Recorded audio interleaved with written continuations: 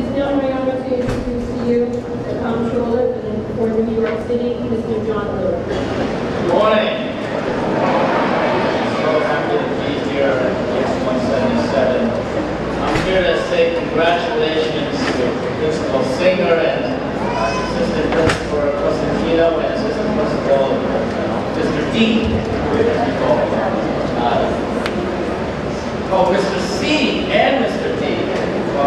Thank you, Mrs. S.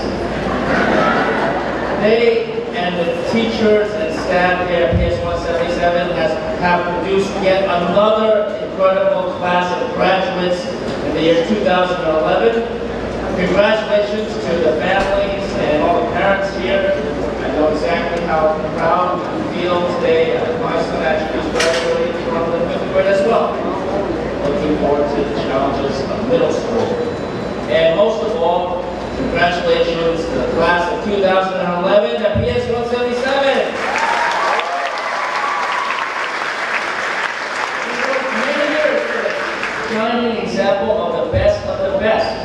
So you have graduated.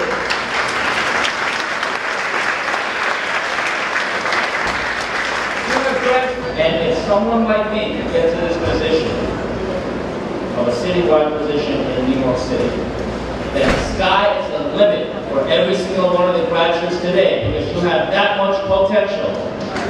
There are so many things.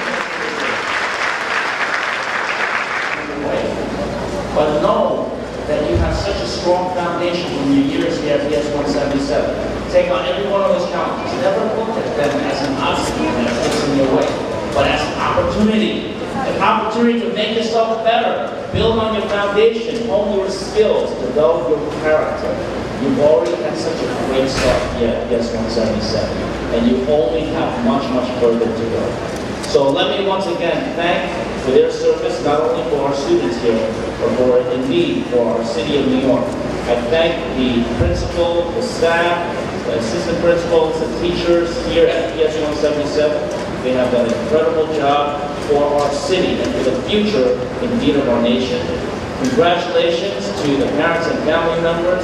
Uh, Assemblymember Colton and I were talking about how great a day this is and what what a school this is to be proud of.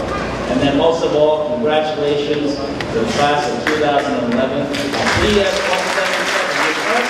177.